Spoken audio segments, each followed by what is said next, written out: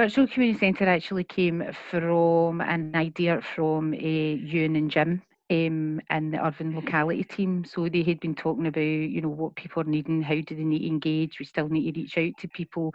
How do we do that?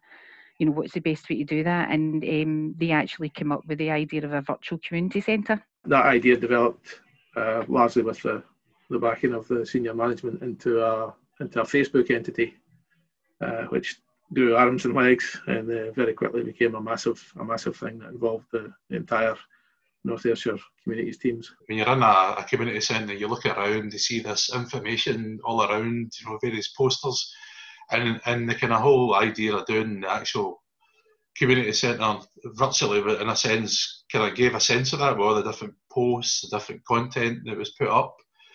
So then it started to be about well, what does that look like? Is it, you know, one page? Is it not one page? How does it work? Who's admin? So we started in a kind of almost like a wee kind of working group, and it very much grew um, arms and legs.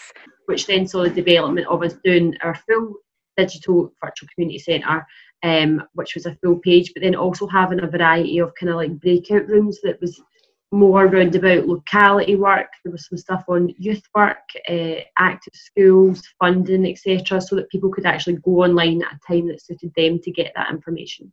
So the virtual community centre has grown from um, a, a, launch on the I think the fourth of May uh, into a, a, colossal thing with uh, an, an, overarching page for the North Ayrshire virtual, virtual Community Centre as, as the umbrella uh, Facebook um, presence with lots and lots of member groups. Uh, one for each locality. There's one for Duke of Edinburgh, one for Culture and Heritage, uh, it's in the libraries and so on. So uh, it's got a wide, wide reach.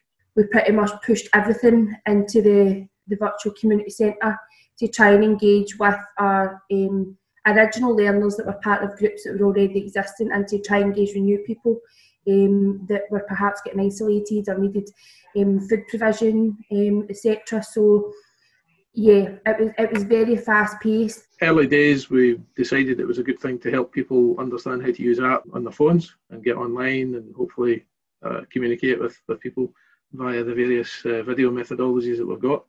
So I, I, started off by making a series of videos showing people how to download and use uh, apps like Messenger and WhatsApp and uh, and latterly Zoom. And with the British Sign Language, it was only a couple of videos that I'd done.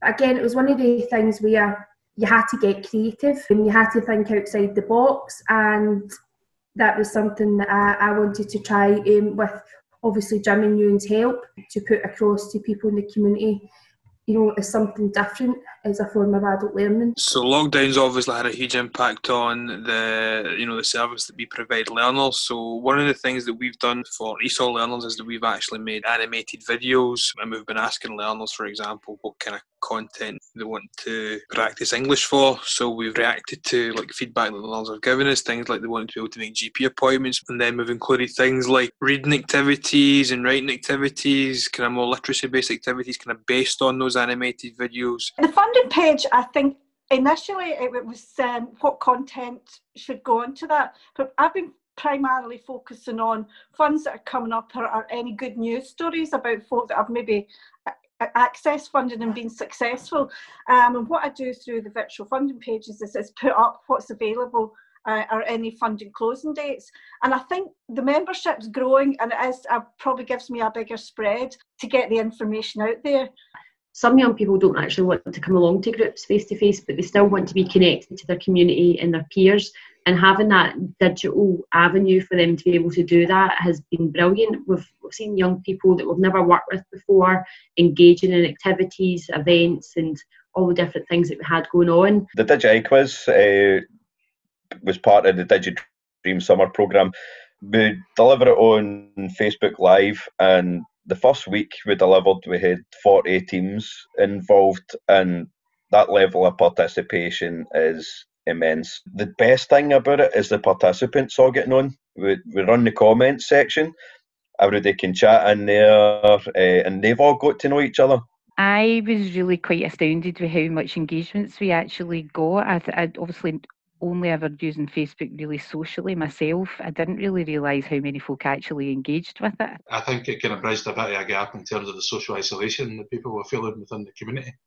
And, and, and in a sense, as us as facilitators, we were able to deliver our own form of adult education, adult learning through doing like videos. And in a sense, it was still giving people that form of training to actually doing face to face delivery.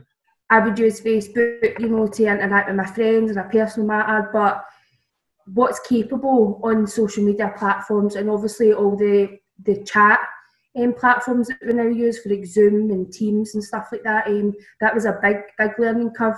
I don't think people realised how much uh, research you need to do to produce a quality post and how much work you need to put in to actually make it look good because they're always, as you say, with the algorithms, they're telling you you should include some kind of media, whether it's a picture or a video. You can't ask for shares or likes, that's a bad thing, but you've got to be conscious of what, what it is that people are, are going to react to and what they're going to what they're going to like. I suppose it was a big learning curve for a lot of people in our um, service as well. I, I think, like me, people had maybe used Facebook socially, but maybe not for the promotion of a service or to do that kind of wider engagement. So it was a massive learning curve for everybody. It's pushed us ahead. You know, it's made us jump forward. Uh, to do something that we should probably have done a long time ago uh, and incorporating this digital stuff.